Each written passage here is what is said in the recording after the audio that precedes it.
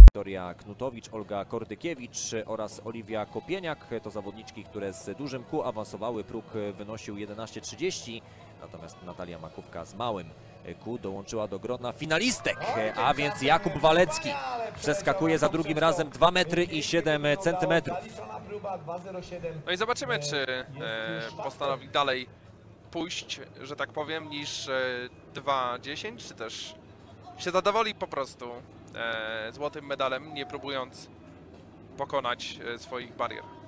Na razie